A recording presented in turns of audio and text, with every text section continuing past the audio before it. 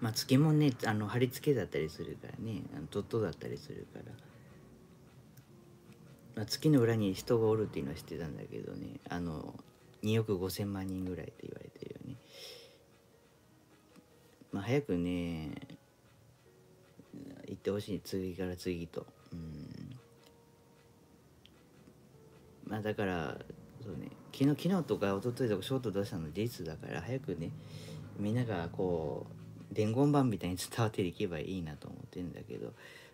分からないねそれはね。あのあれは書いたのは事実だからこう誰かが次の人がショートで作ってくれればいいわけなんだけどして。じゃあだってこれなかなかね人気 YouTuber には頼むことはないね。あれはもうあの論外だからね。あれはあっちの方だからできない、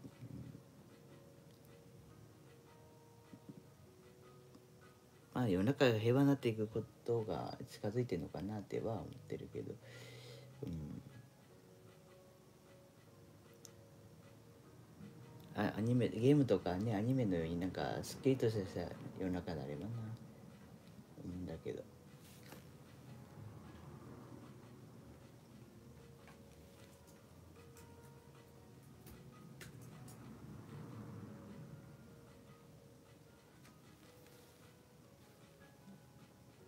まあ登録人数もね昨日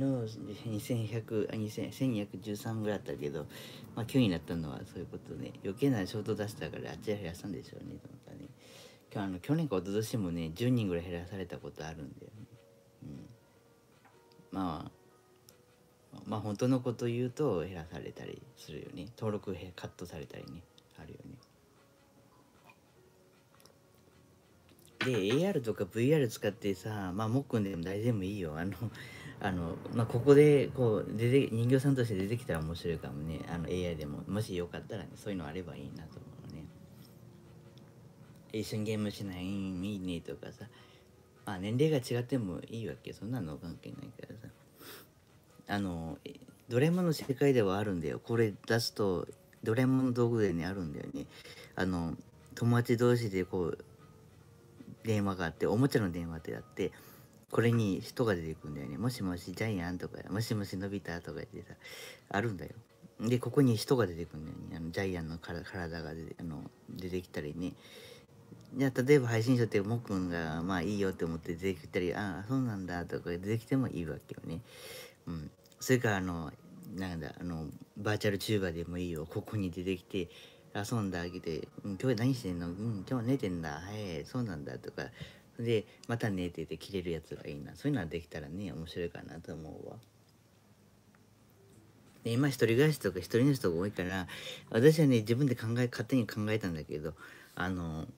なんかイオンモールじゃないけどああいうなんだなんていうのかな。